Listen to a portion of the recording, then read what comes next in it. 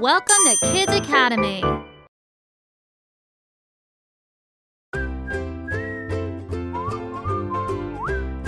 Hi there, I'm Toby.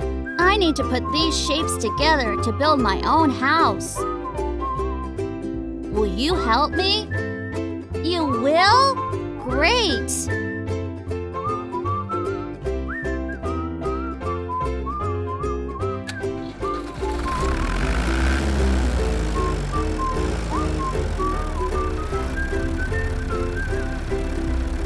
This is a square. It has four equal sides.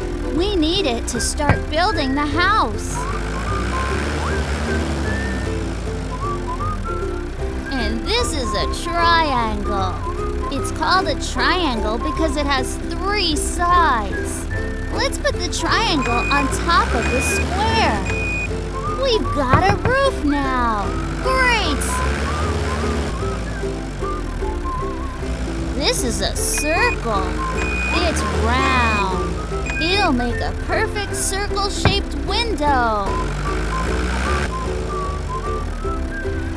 We've got a rectangle here.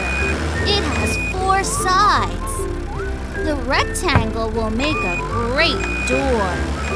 These rhombuses are like diamonds. Let's use them to decorate our house. Lovely. The house is ready. Good work. What shapes have we used to build the house? Let's have a look at the shapes again. Everybody say a square, a triangle, a rectangle, a circle, a rhombus. Bye-bye.